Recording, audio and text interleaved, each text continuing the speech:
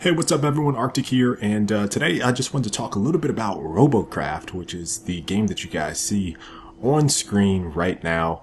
Uh, it's a pretty fun free-to-play game from Steam. Uh, it released uh, not too long ago, but I actually think it was available for quite some time before they actually put it out on Steam.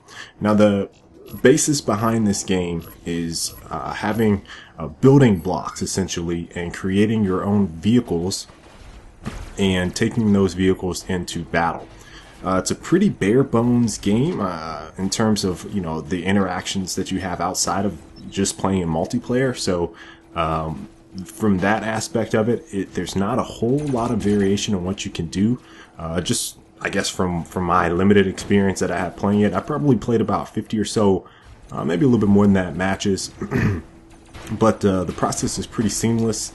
You have a set number of blocks that you can start off with. They give you like some beginner blocks, and then as you uh, level up or, or change tiers, uh, you unlock different blocks that have varying levels of strength and whatnot.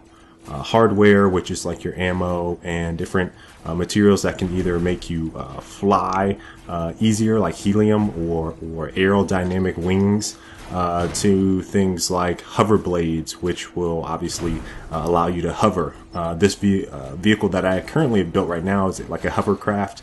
I didn't put any wheels on this one, but uh, if I wanted to have a land and air vehicle, that is possible. Uh, so, you know, what I really like about it is just some of the dynamic types of vehicles that I've seen people build. Uh, you know, some stuff is really crazy and funny, and uh, other things are very much so structured around like uh, uh just dominating. So you'll see people with like super armor, basically like a big cube, just rolling around. Uh, but you know, it's it's been a fun game to just pick up and play.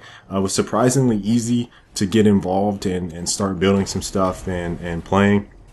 I tried to build a a couple different variations of, of you know land and air ish vehicles. I haven't built anything that really uh, flies uh, that is flies very high. I built some hovercrafts, uh, as you guys can see. Um, and I think one of my first videos I posted, first or second video I posted, uh, was a hovercraft of sorts. Uh, so basically, you know, to sum it up for you know people wondering about this game, it's basically you know the the uh, cross like a cross between Minecraft and World of Tanks. And that is just the honest truth. I think I actually had someone say, uh, you know, since I mentioned World of Tanks, they weren't really interested in it. And I give World of Tanks a lot of slack, but uh, there is obviously there's a market for people that like that type of game. Uh, this doesn't feel as campy uh, or slow uh, paced as World of Tanks does. Uh, just I think it's just because of the nature of the vehicles that people end up building. So you know, someone will build some monstrous uh, or completely silly vehicle and they want to test it out. So they're going to go out in the open and, and fight and, and, try to uh, tear people up. Uh, so it, it, definitely has a, a, a, pretty good ebb and flow uh, when you get into battle. Now I'm only in tier two. I think there's 10 tiers in total. Uh, so I haven't seen some of the uh, ships that other people have, but I think it'll definitely be interesting.